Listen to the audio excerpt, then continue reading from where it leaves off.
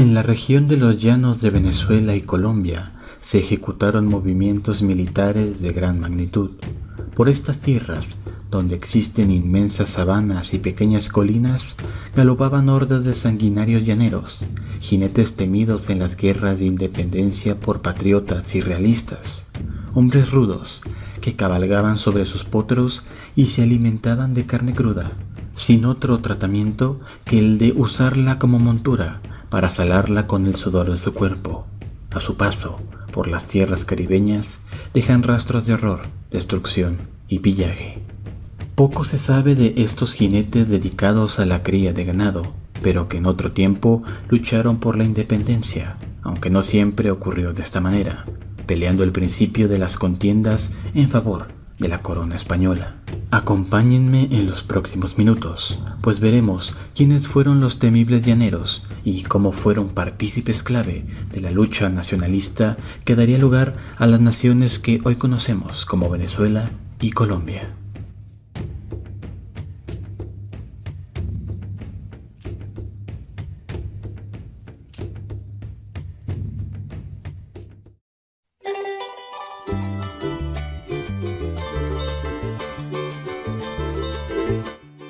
Nos encontramos a principios del siglo XIX, con el fervor independentista permeando en Sudamérica. En las praderas de los llanos se comercializa el ganado y la población se gana la vida curtiendo a cuero. Allí, el poco desarrollo, la segregación social y las castas habían sembrado recelo en los pobladores, y cuando estallaron las guerras de lucha por la independencia, los hombres del llano decidieron seguir a un caudillo que les ofrecía lo que por derecho consideraban suyo, al grado que llegaron a reducir a cenizas ejércitos experimentados en el campo de batalla. José Tomás Bobes es quien lideró a los llaneros al inicio de las guerras, hombre mercader que llegó a las Indias proveniente de España para comerciar con mulas y caballos en los llanos resentido con los separatistas, quienes le torturaron por rehusarse a formar parte de la causa independentista, reclutó a los llaneros en favor de la corona española para hacer frente a la primera república venezolana, llegando a tener a 4.000 hombres dispuestos a luchar con toda fiereza. En medio de las batallas, el mismo libertador, Simón Bolívar, ordenó al coronel Vicente Campo Elías combatir a Bobes y a sus llaneros, consiguiendo derrotarlos en la sabana de Mosquitero.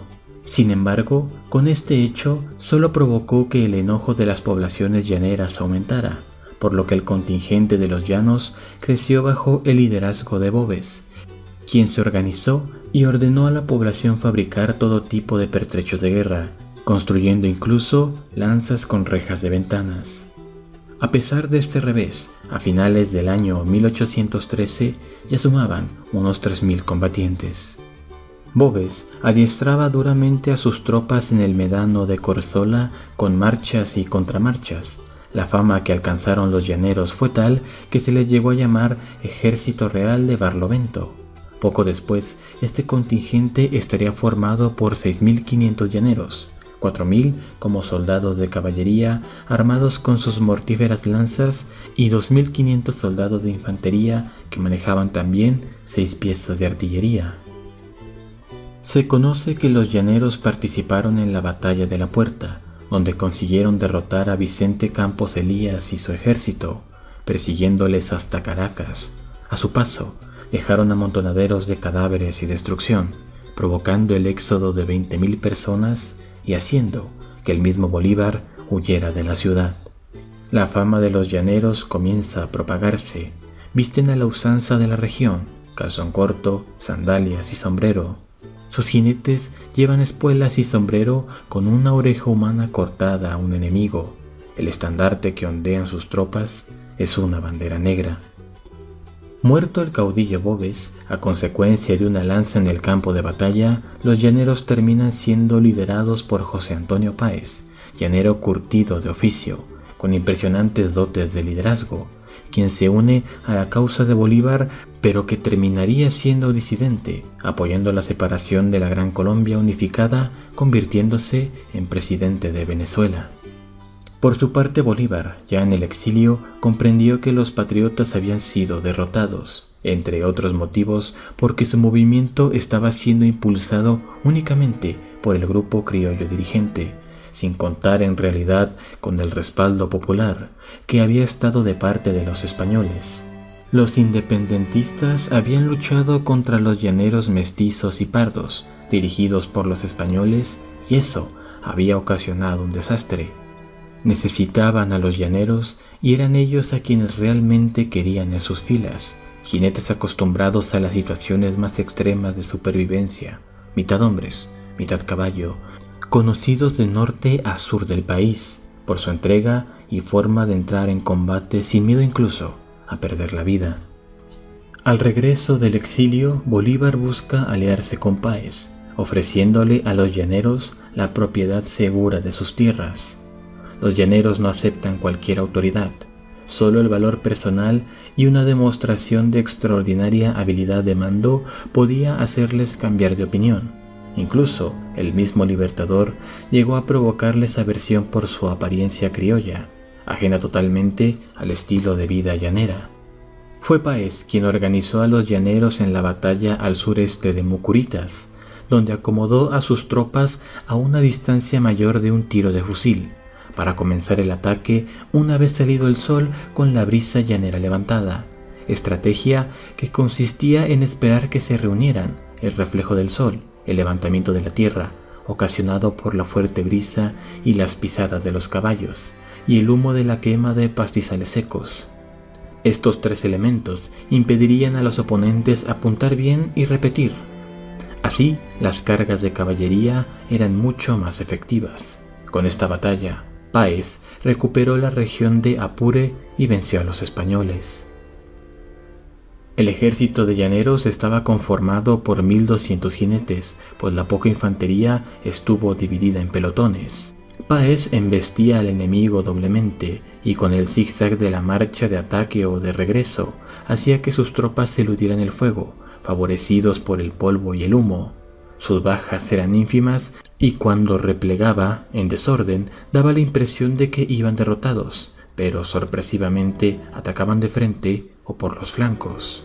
Una de las tácticas favoritas de los llaneros llamada vuelcacaras era fingirse vencidos y hacerse perseguir por sus enemigos, para repentinamente enfrentarlos con vasta furia. Otra de sus memorables hazañas fue la batalla del Yagual, donde gracias a que las tropas durmieron dentro de un estero lleno de agua, se salvaron de un seguro ataque de sus enemigos, que los buscaron durante toda la noche para aniquilarlos.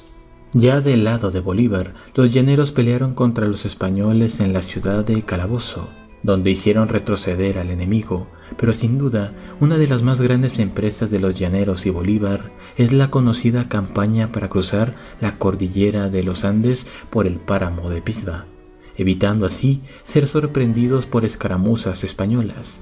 Esta descabellada empresa consistió en recorrer 400 kilómetros en ocho días, con el propósito de atacar a las tropas españolas y emprender la marcha hacia la Nueva Granada emulando la gran hazaña de Aníbal en los Alpes.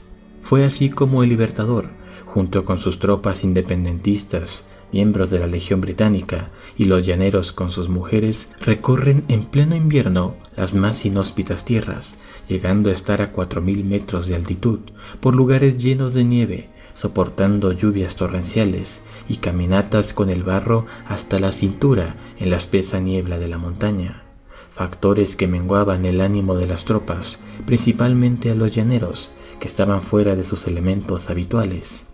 Se sabe que algunas de sus mujeres llegaron a parir en plena montaña y a pesar del gran esfuerzo físico, se las vio continuando la marcha con sus vástagos recién nacidos.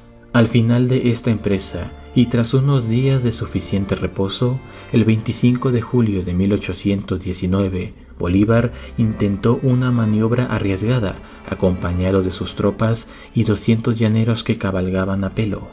Atacó a los españoles en el pantano de Vargas, en Bocaya, batalla que estuvo a punto de perder al verse diezmado, pero gracias a la furia con la que pelearon los llaneros, inferiores en número a los españoles, esta batalla fue contada como victoria para los independentistas, pues abrió camino hacia la Nueva Granada hoy Colombia.